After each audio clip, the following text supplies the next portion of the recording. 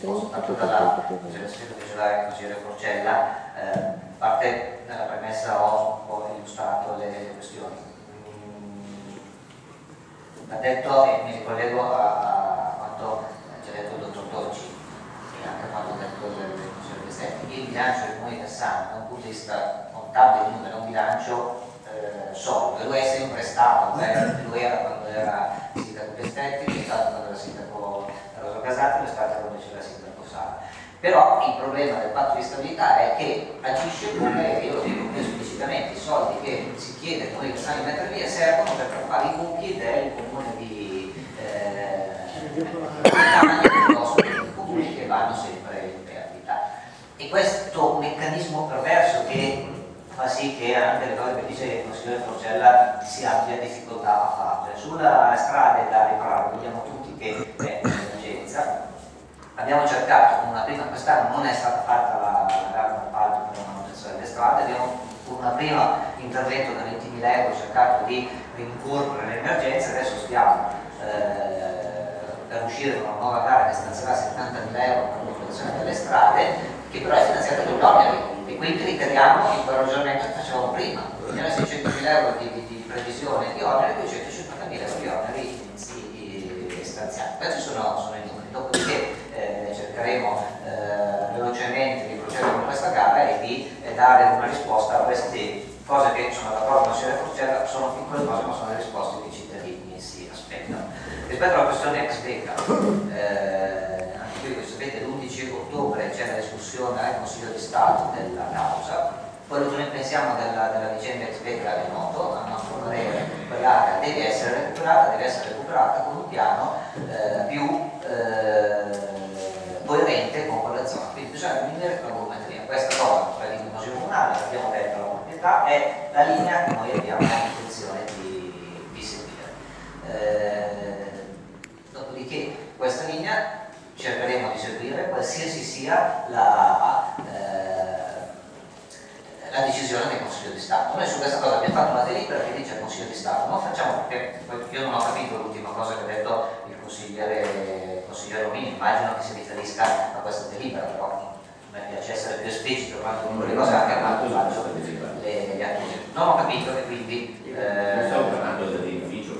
non della delibera della beca. Ha citato sull'edificio non, abbiamo deliberato nulla, ecco, quindi siccome sono state citate delibere in cui sono state, scritte cose che potrebbero determinare delle querele, a me non è in mente, però, eh, però su questa cosa noi abbiamo detto al Consiglio di Stato una cosa molto chiara, non facciamo finta che non sia successo nulla in questo paese, c'è una causa di tipo amministrativo sulla questione Veta che si collega a una causa di tipo penale che tutti quanti conosciamo, quindi non facciamo finta di niente, noi per garantire la legittimità di quegli atti abbiamo bisogno di tempo e è inopportuno che l'11 ottobre Consiglio di Stato decida nel merito di questa, di questa, di questa vicenda, quindi abbiamo chiesto al Consiglio di Stato di rimandare la decisione nel merito perché non abbiamo l'effetto di salame sugli occhi, non facciamo finta che la causa non ci sia, dopodiché io ho detto che ripeto, sono un garantista, quindi bisogna lasciare il tempo per tutti di decidere, in questo momento una decisione del Consiglio di Stato su questo, su questo tema sarebbe, sarebbe inopportuna. Eh, quindi però lo stato dell'arte è 11 ottobre si, si, la richiesta del Comune è quella di rimandare la, eh, la discussione. Sugli altri temi importanti come lo spostamento delle poste eh, ci stiamo lavorando, anche qui che cosa ha fatto il Comune? Sono state fatte delle scelte in passato e non ci torno, non ci torno più, sono state fatte delle scelte che si sono rivelate eh, molto problematiche. In questa fase noi abbiamo cercato di trovare in collaborazione con le poste delle soluzioni alternative più veloci di quelle della costruzione della nuova sede del porto. Devo dire che le nostre eh, proposte sono state prese seriamente da parte delle poste che stanno valutando, non abbiamo ancora una risposta, contiamo di averla però, però a breve. La proposta che stata fatta alle poste è dire ci sono tante sedi a Cassano che potrebbero ospitare in modo eh, più adeguato le poste, ne abbiamo segnalate alcune, abbiamo fatto da facilitatore tra le poste e i proprietari, a questo punto la palla ce l'hanno le poste, le, le, non possono dire che a Cassano non ci siano delle, delle alternative. Contiamo però che eh, a breve ci diano una risposta e speriamo una risposta, una risposta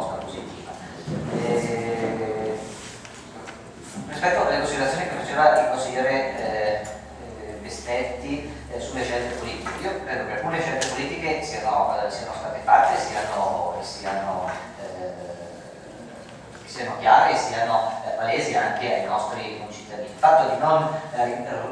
andare a modificare il bilancio deriva dai vincoli che abbiamo, perché il bilancio è nato così ed era tecnicamente difficile andare a modificarlo se non si avevano nuove, eh, nuove entrate o se non, eh, anche perché tenete conto che quando noi siamo arrivati, il, se non ricordo male, il 75% delle, delle, risorse sono già state impegnate sul lato della, della spesa. Però una serie di scelte sono state fatte, come ha detto il consigliere stesso, sono stati revocati alcuni incarichi che non sono stati revocati a caso. Sul piano del governo del territorio dovremo prendere, dovremo, uso plurale, dovremo con occasione comunale prendere a breve delle decisioni, ho intenzione di procedere celermente, eh, poi condivido eh,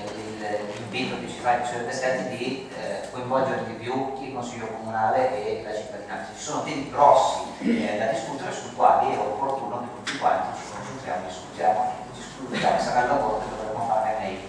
eh, nei prossimi rispetto alle considerazioni che, fa che ha fatto il consigliere Romini. Mm.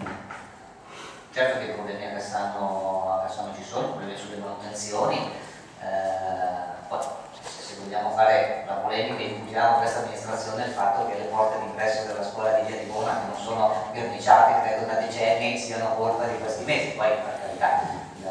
la polemica politica ci sta, ci sta tutta, però voglio cogliere l'aspetto propositivo non l'aspetto polemico dell'intervento di Domini. È evidente che dei problemi sulla manutenzione, sulla manutenzione delle strade, sulla manutenzione del verde, eh, sulla manutenzione degli edifici ci sono, eh, per risolverli sono necessarie due cose. Una riorganizzazione del lavoro, della modalità di lavorare e degli uffici sulla quale stiamo lavorando e che faremo e poi reperire nuove risorse, perché senza le risorse questi interventi non, eh, non, si, riescono, non, si, riescono, non si riescono a fare. Eh, rispetto all'edificio anche qui non è vero che non sono state fatte scelte, il TAR ha emesso una sentenza, eh, in quel caso noi abbiamo deciso di non revocare l'incarico ma di mantenere la e quindi di eh, nonostante tutto quello che è successo sulla questione dell'edificio, di mantenere la linea impostata dalla precedente eh, amministrazione dicendo che le richieste della proprietà non erano, non erano eh, accoglibili e dicendo però guardate che è cambiata l'amministrazione, c'è la volontà di, credo sia una volontà unanime di tutto il Consiglio Comunale, di avviare recupero seriamente dell'edificio, quindi non, non c'è la necessità di fare gli atti che venivano chiesti con, quella, eh, con quell'atto al, al TAR, cioè di imporre al Comune di approvare entro il 30 settembre quella, quel piano di recupero. È stata una politica anche questa, avremmo potuto dire no, no va bene, fatelo, ma sarebbe stato negativo per il Comune, per il comune di Cassano. Le ultime due cose riguardano eh, la riscossione, in realtà il processo di riscossione delle tasse non pagate è previsto dalla legge, ma la legge prevede proprio, come dice il Consiglio Romini, che si mandano gli avvisi, dopodiché se uno viene in comune e accetta l'avviso la, che viene mandato c'è una decurtazione delle, delle, sanzioni e si paga molto meno di quanto la cartella esattoriale che uno riceve a casa si, eh, su, su, su cui riceve a casa riporta.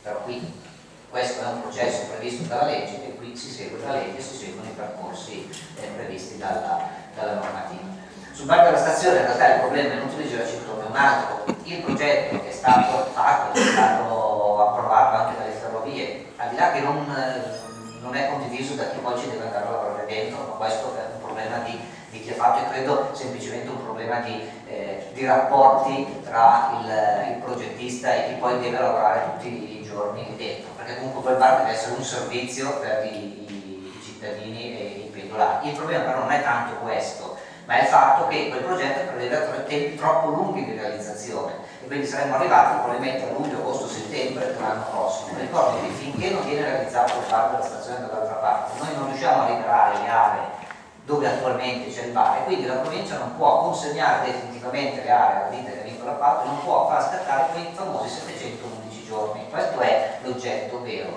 Quindi stiamo cercando, modificando leggermente il progetto, di trovare una strada più veloce, che è quella di realizzare una struttura prefabbricata, mantenendo l'impostazione del progetto che è stato fatto, perché è stato fatto da un professionista che è stato pagato, però l'obiettivo è semplicemente questo. Noi contiamo di recuperare diversi mesi con questo questo, con questo meccanismo, però non, dopodiché come è stato fatto quel progetto, perché stiamo parlando di una cosa, io ricordo ho smesso di fare l'assessore ai lavori pubblici nel 2006, si doveva progettare questo bar, siamo arrivati al 2011 e questo bar non è ancora, stiamo parlando una struttura di poche decine di, di metri quadrati. Però l'obiettivo, al di là delle polemiche, è questo, accelerare i tempi per accelerare la consegna definitiva, definitiva delle aree. L'ultima cosa, mh, io questa cosa non ho notato, ma se l'avete considerato sicuramente vera, l'ufficio urbanistica è, l'ufficio catasco è in, in capo all'ufficio lavori pubblici. Spero che aver risposto a tutte le